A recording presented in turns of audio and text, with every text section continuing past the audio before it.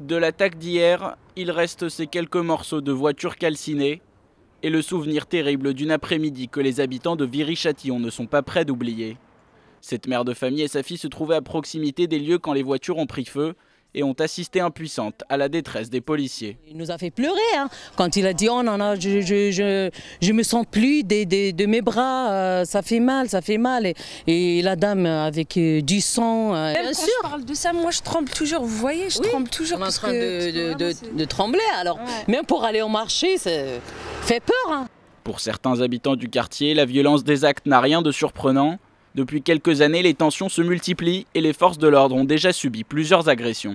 Nous, on n'est pas étonnés. Depuis tout petit, on a vu des émeutes, on a vu tout ça, on n'est pas choqués. Quoi. Et puis même la police ne devrait pas être choquée de voir ça aujourd'hui, parce qu'eux-mêmes, ils sont sur le terrain depuis certains, peut-être des années, ils ont dû voir ça euh, toute leur vie. Quoi. Et je pense pas qu'on puisse un jour faire quelque chose, que ça s'arrangera, j'y crois pas. Depuis le temps que j'habite ici, euh, à chaque fois, ils ont essayé de faire quelque chose, et puis ils n'y arrivent pas. Donc il y a bien un malaise quelque part. Pour l'heure, les assaillants sont toujours en fuite l'un des policiers victimes de l'attaque a été placé en coma artificiel et son pronostic vital est engagé. Sa collègue présente dans le même véhicule est toujours hospitalisée alors que les deux autres membres des forces de l'ordre présents sur place sont sortis de l'hôpital.